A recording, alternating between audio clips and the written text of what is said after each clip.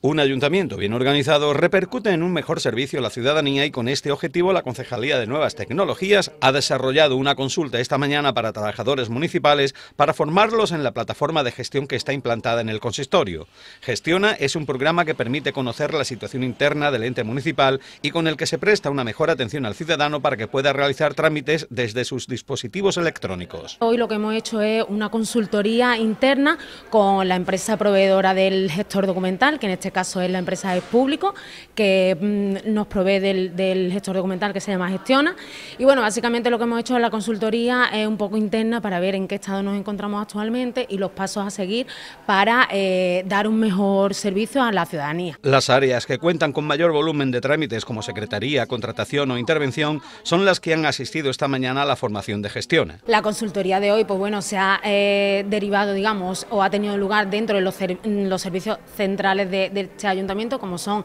el área de secretaría, el área de contratación y el área de, intervención. Entonces, pues bueno, desde ahí lo que hemos querido es conocer o detectar las necesidades que los técnicos de, de estas áreas que he comentado anteriormente, pues ven que son necesarias para posteriormente darle traslado a las demás áreas municipales. Los trámites para la ciudadanía de una forma ágil, sencilla y sin tener que desplazarse al ayuntamiento es ya una realidad a través de la sede electrónica. Desde la Concejalía de Nuevas Tecnologías se anima a los ciudadanos a conocer esta plataforma que se encuentra en la página web municipal. Dar a conocer que el Ayuntamiento de Coín tiene instalada eh, la sede electrónica, que cualquier ciudadano desde cualquier parte del mundo pues puede hacer un registro general desde la sede electrónica que está que es un apartado que está dentro de la página web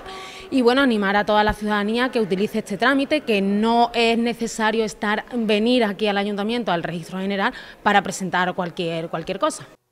Entonces realmente no es la firma personal del alcalde, es la